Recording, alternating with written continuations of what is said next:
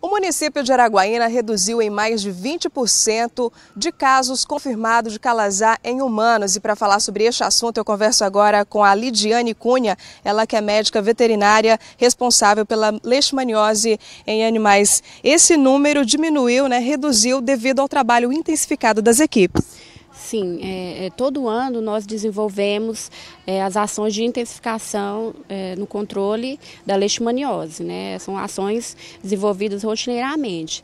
Então, assim, essa redução a gente pode observar é, que, que um fato importante, né, que pode ter favorecido, é, foi aquele mutirão também da, da, minha cidade limpa, né, que aconteceu no ano passado.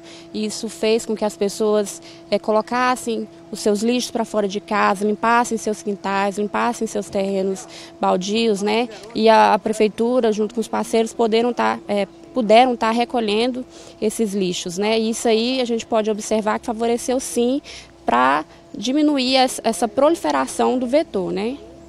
Quantos casos foram registrados?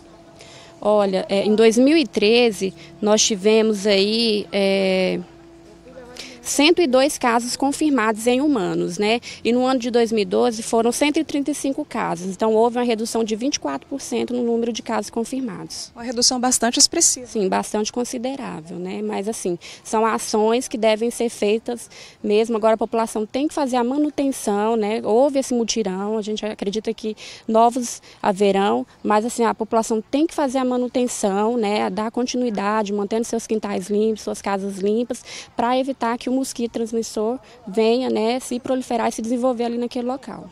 Agora, Lidiane, esse número, essa redução foi em casos de humanos, né? Agora, com relação aos animais, esse número também diminuiu? Sim, é, nós podemos observar que em 2012 foram mais de 8 mil cães examinados, né? E a positividade ficou em 31%. Já em 2013 foram é, é, foi um pouco menos de cães examinados, né? Mas a positividade foi o quê? Mais de 7 mil cães, tá? Mas a positividade caiu para 26%. Então é, é também a gente considera um número bom, né? Uma redução bastante considerável também. Dá para fazer uma comparação com relação ao, ao ano passado, ao mesmo período?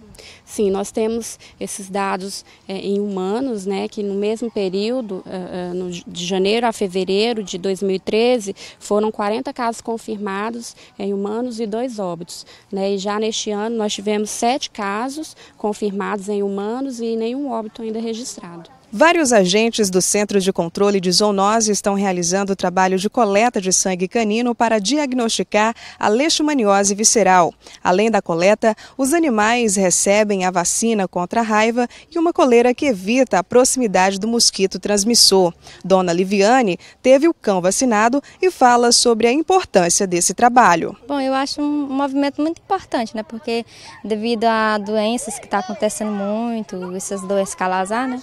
Aí devido a isso eu acho muito importante esse trabalho, porque é um ato de preocupação com a saúde da população, né? E também dos animais. É, e dos animais também. Então eu acho muito interessante isso.